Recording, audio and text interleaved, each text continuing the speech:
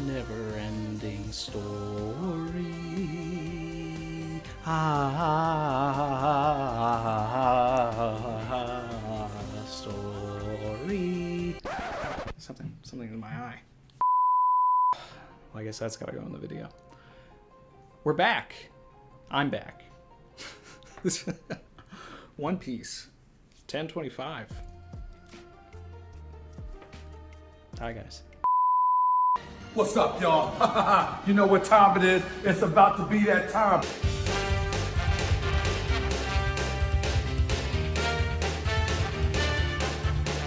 Damn, son, where'd you find this?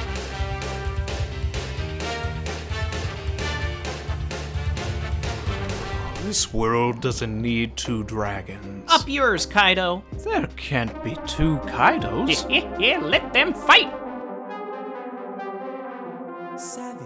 As usual, we're going to talk about some mythology. We're going to get into some of the same things that we were talking about last week in the beach episode. If you saw that, you know what I'm talking about, okay? Because I think I'm on the right track.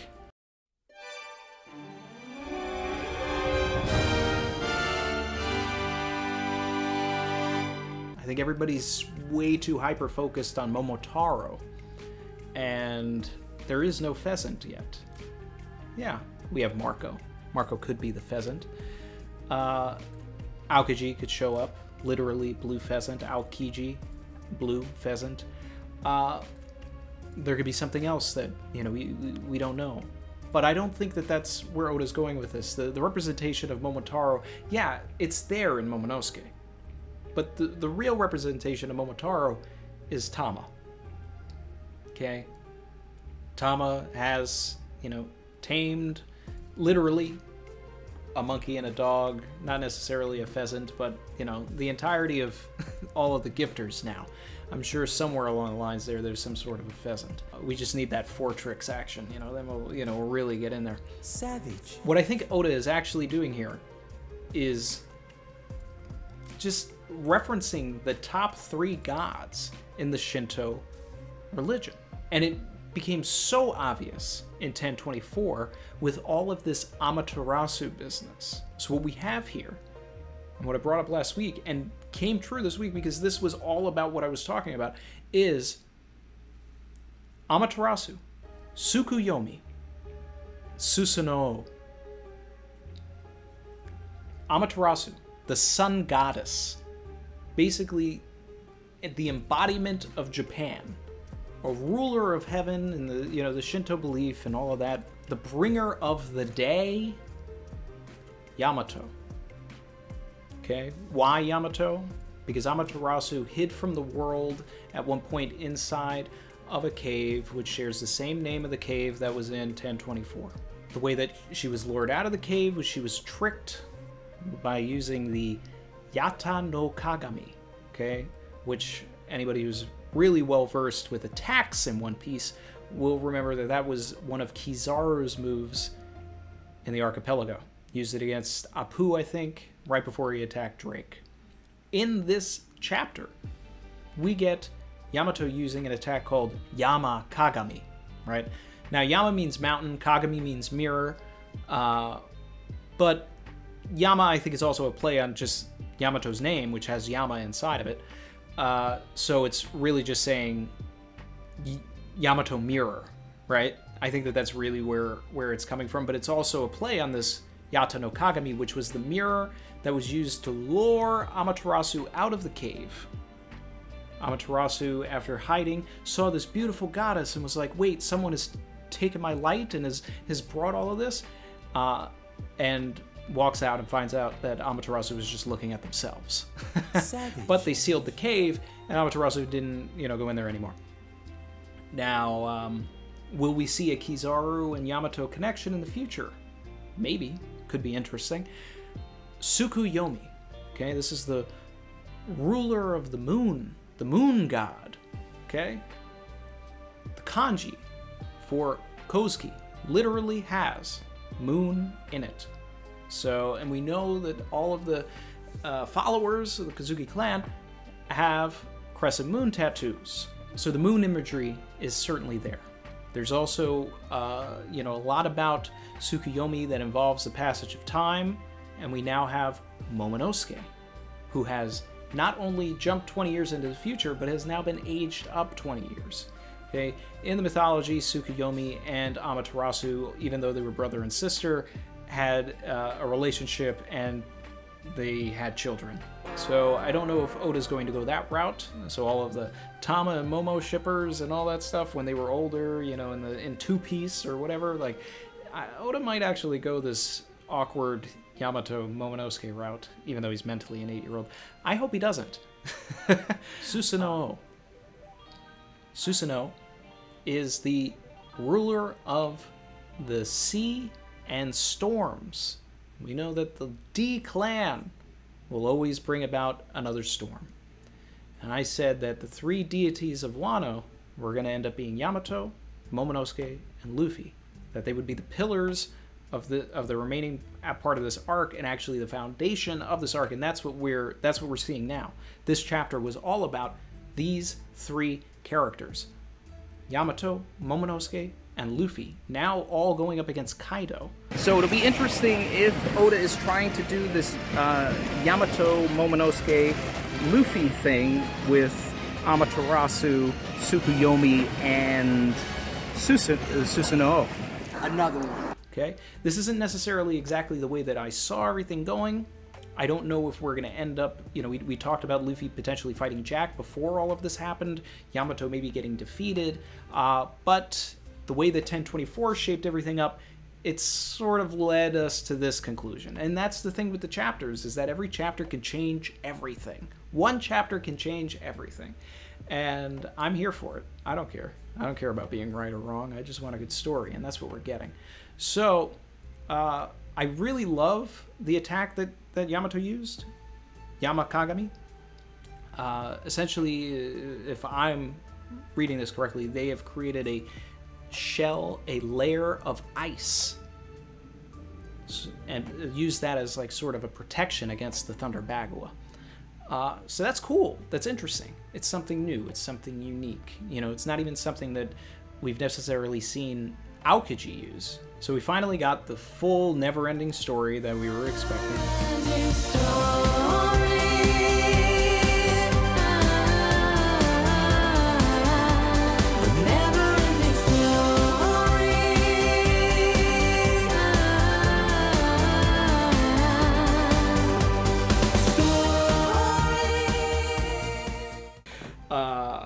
Luffy riding Falkor, going through Onigashima. Uh, so that was a nice twist. And it was necessary, right? Because everybody's got to see Luffy, and the people that know Momonosuke may may be able to put the pieces together that, you know, Momo got bigger. Uh, but, you know, morale will come back now that they've seen Luffy. We took a little trip going to all the floors. Luffy makes it to the roof. I just thought maybe Kaido wouldn't be there yet. Would be heading to the live floor. Kaido could still go to the live floor. But what we've got now is finally the melding, the meeting of the two dragons, the twin dragons, uh, dueling dragons. the the the two Spider-Mans pointing at each other. You're not you. Who are you if I'm not me? I'm you. But I'm not me. Are you me or am I you? Oh man, uh, it's interesting. We knew that this was going to happen. I've been waiting for this. I've been waiting for this moment.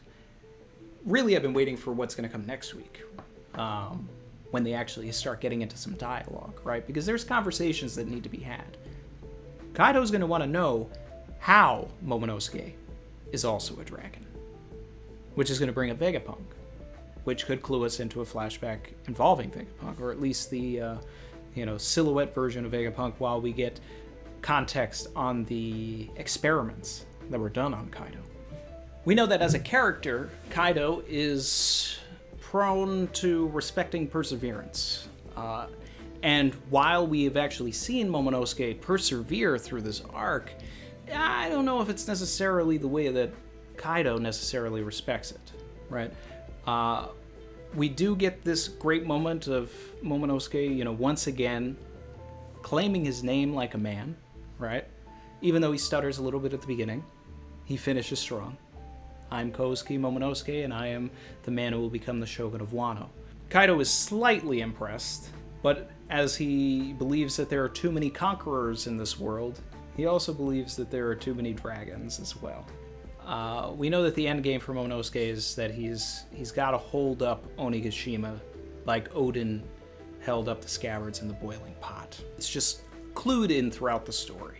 Yamato being the one to tell us about the uh, uh, the dragon flames in the first place, telling it to Momonosuke so that we as a reader are learning it at the same time that Momonosuke is hearing it, the person who actually needs to know about it, because they're now bigger and can use this stuff. So a conversation between Momonosuke and Yamato is going to bring that not necessarily soon, but soonish. You know, probably within 10 chapters now. There's a lot of other stuff that needs to get finished before any of this will get to any sort of like final resolution. This is all on purpose. This is all for this is all Oda laying the foreshadowing and setting up the narrative clues that Momonosuke is going to do this. So get ready, people. He's going to do it.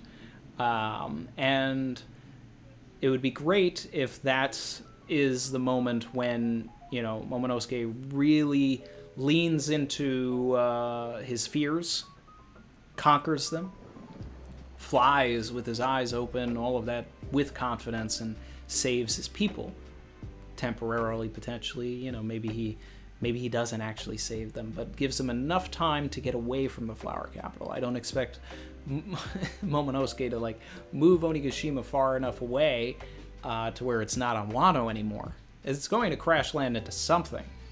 It's just what is that something going to be? This really could lean us into bits and pieces of a Kaido flashback. Um, I don't know if that's what we're going to actually get for 1026, but you know that's that's up in the air. I think that 1026 is going to be very heavily Momonosuke focused, uh, at least at the start of the chapter. Kaido and Momonosuke talking, combating this idea that Kaido has of perseverance.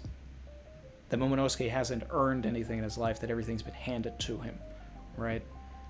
Um, and I think that that idea my own head headcanon got lost in translation in one of the previous videos uh, where I said that uh, Momonosuke didn't earn his fruit, and I got a lot of comments like, "How do you earn a fruit?" Uh, and I was going off of what I've talked about in previous videos, is talking strictly from Kaido, and that I believe that he will have a conversation with Momonosuke where it's like, you you know, you didn't you didn't earn Wano, you didn't earn your age now, and you know you didn't earn your power and all this. Like, if coming from the place of Kaido saying, "I worked for all of this." I took Wano. I took this. I trained and got stronger. I did all of these things. Like, I'm a man. You're a boy pretending to be a man.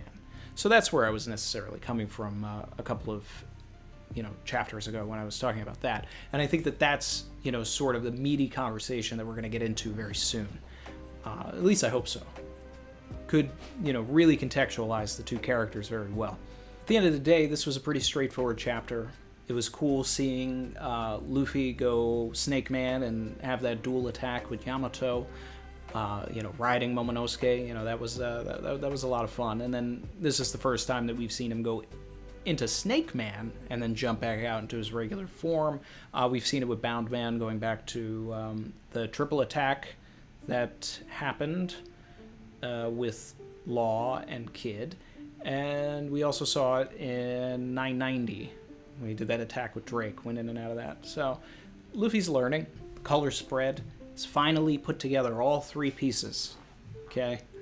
Uh, and what's really awesome is that uh, Banpresto and Bandai, uh, the people who make the figures that I collect, will be making figures of every single character on that spread over the course of the next year and a half, because that's how long it's going to take uh, for all of them to come out.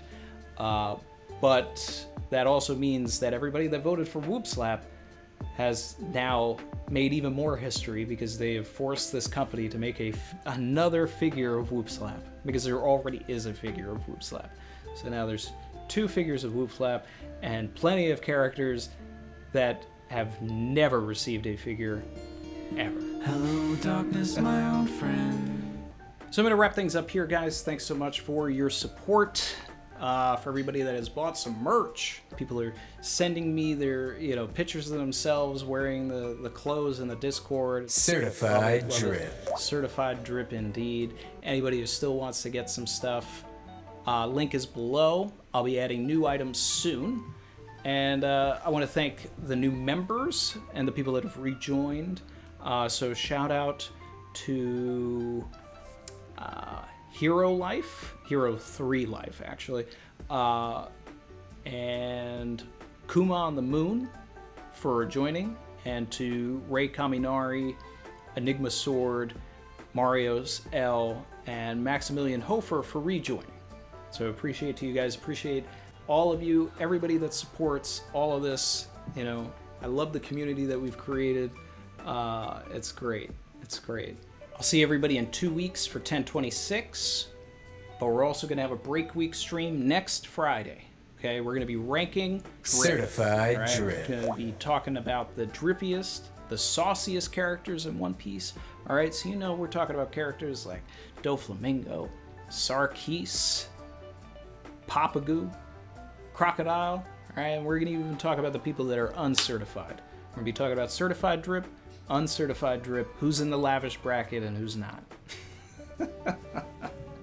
it's it's gonna be fun. I'm I'm excited. That was a funny uh, suggestion, and and we're going for it. We're doing it.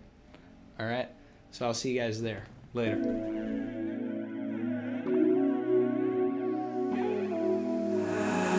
Swimming deep, deep. Savage. Savage.